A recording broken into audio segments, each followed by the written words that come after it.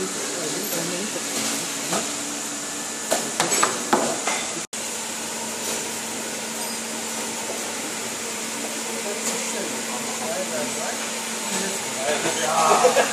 war einfach mal gut sein.